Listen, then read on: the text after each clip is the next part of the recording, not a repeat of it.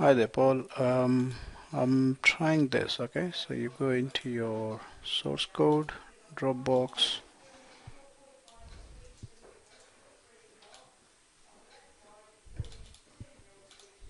Okay, download. Save as.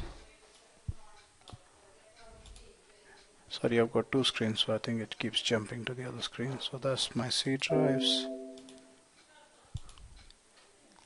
Okay so let me just go to downloads and save that. And as you see it just asked to rewrite it. That's fine. So I'll open the folder.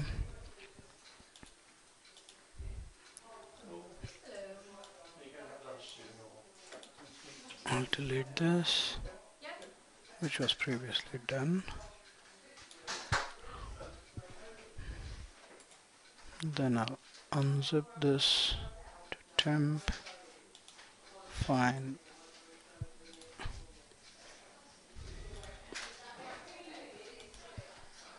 And copy this temp as you suggested. Go to C drive.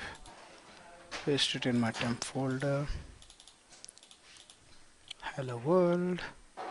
And I can see your Java class is fine.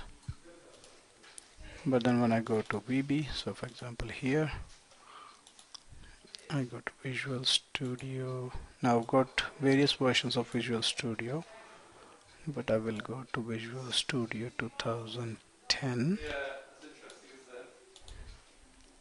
okay. And as you see here I go to file open project open solution file open and then get this error message that's fine. Click open. And as you see here it doesn't open anything. Whereas if I just drag this VB file just to see then I can see all the information and I can see you got the simple as your DLL which was um, in your previous folder. The simple.dll I'm assuming you're importing that so I can see what the code is but I can't actually open the, the project file. So yeah if any help you can provide that'll be great. Thank you